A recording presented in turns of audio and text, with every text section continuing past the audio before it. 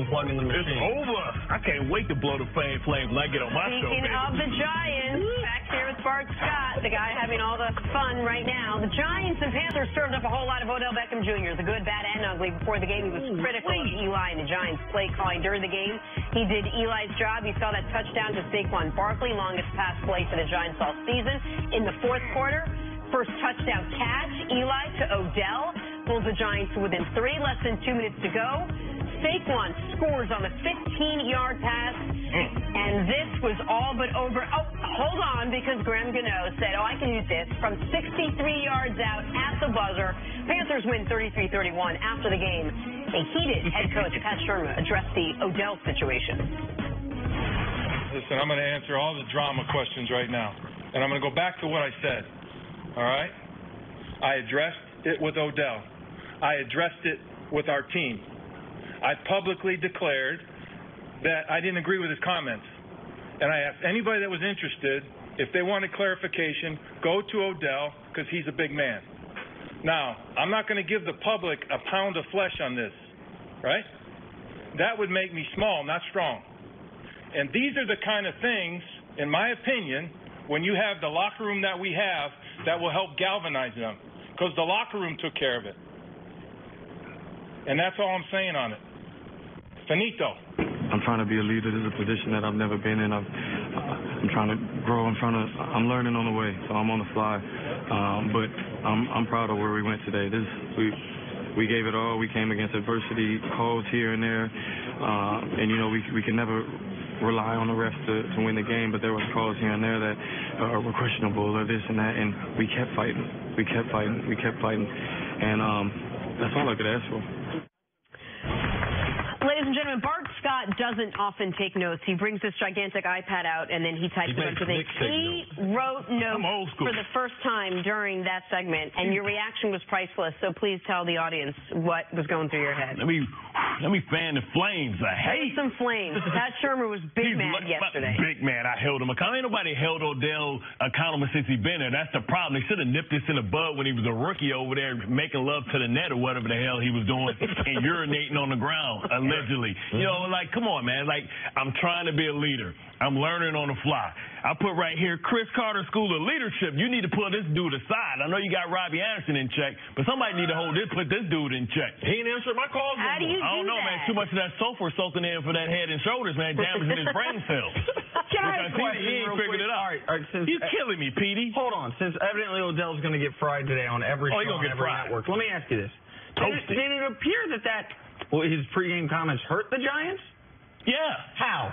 Because let me tell you something. If you want to be a leader, now you got to address and fix all these relationships. Now it's it's great if you win, but now you lost by a 63-yard field goal. The same thing that ruined their season last year. Remember, A it was a loss. It was a loss after the Philadelphia Eagles. You're one in four. Now you're pointing fingers. Now you got guys that are going to play good soldier, but in the backside they're like, I hate this dude.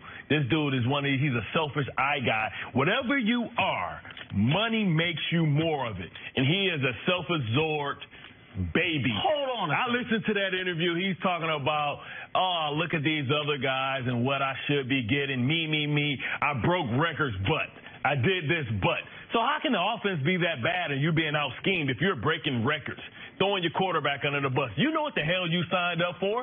You knew Eli. They they they bought into Eli. You You know you'd have had yeah you'd have had Deshaun Watson. Tell say say I'm going to the market.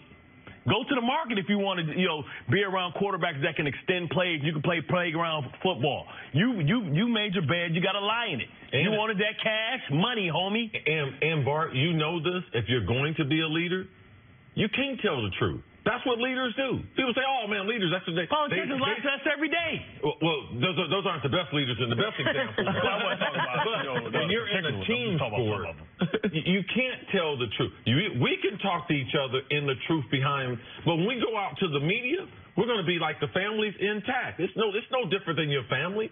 Like my mom will tell you, man, we can argue like cats and dogs.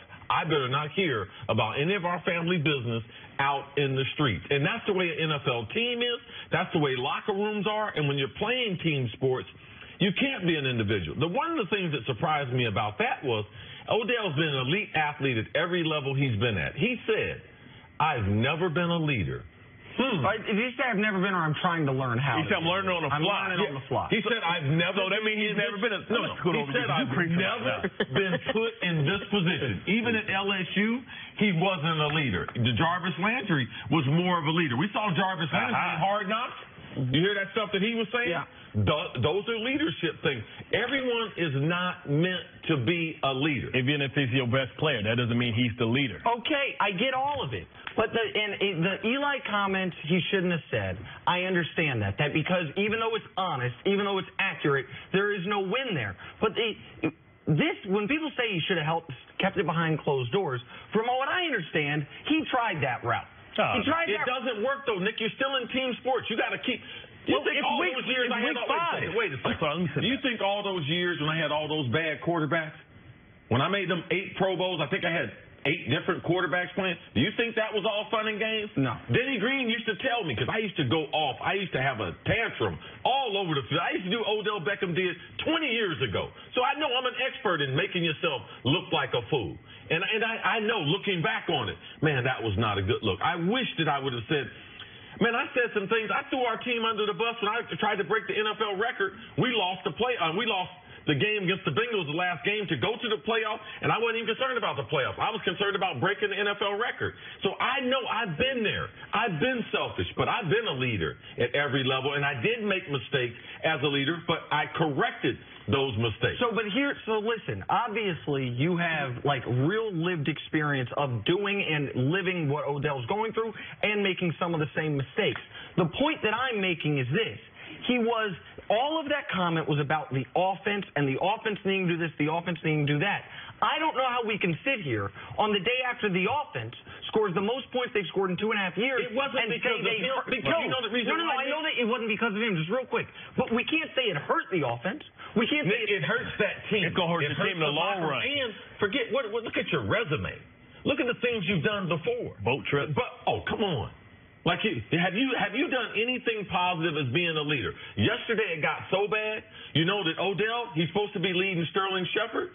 Sterling Shepard decides that he wants to complain. He wants to lift up the garbage can and dump it over. Who's trying to tell leadership. Odell is. Isn't that a good thing that Odell? no, because he saw Odell do it. So Odell saying, no, don't do what I did. No, no, do say. do opposite. No, no, let me do the same thing because no one said anything to you when you were doing it.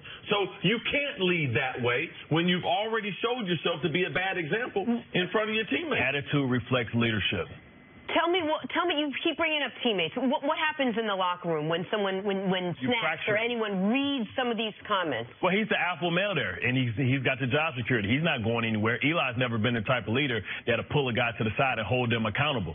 You know, so so now what is he going to do? So now Eli's like, man, What you're like gonna have is how you this a how you bunch of guys lying. and Yup. trying to protect them. Been like, oh no, we don't have any problems. It's gonna no, fracture. No, it didn't. No, no, it didn't happen. But behind that, their, their real feelings are they are affected, and there's nothing they can do. They're powerless. The coach said, "Oh, the locker room handled it.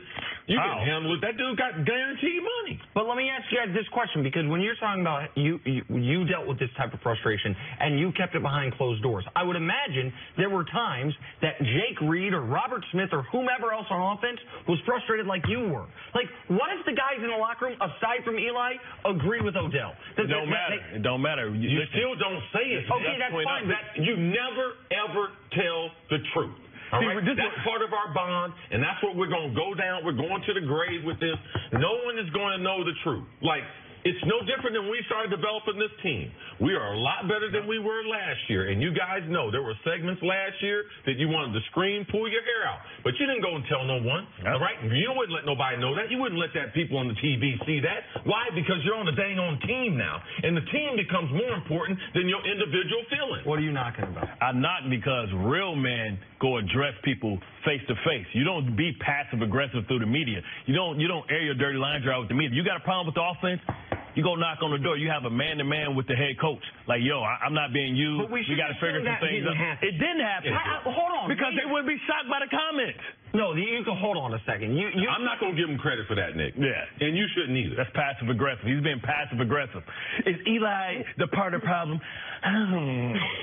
well, Help meanwhile, me, Weezy. Come on, man. Get the hell out of here, bro. Be a man then. Drop the drop him and say something. the you got New something to say? Giants are suddenly one and four and appear to be fractured. Is it is it because of Odell? Would you point to Odell I mean, for that? he, he didn't help it out. You know, they could have been fractured. They- You know, listen, you, I would love to have a list with Cris about who played with the worst quarterbacks.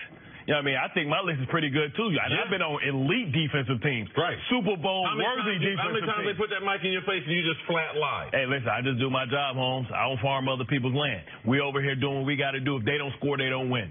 Okay, that's all fair. To answer your question, though, if we're talking about reasons the Giants are one and four, slices of the pie, Odell might be the smallest slice. Now, moving forward, maybe he's a big part of the problem, but you can't point to a single game, including yesterday, where Odell wasn't a part of the solution as opposed to a part of the problem. Nice turnover. What?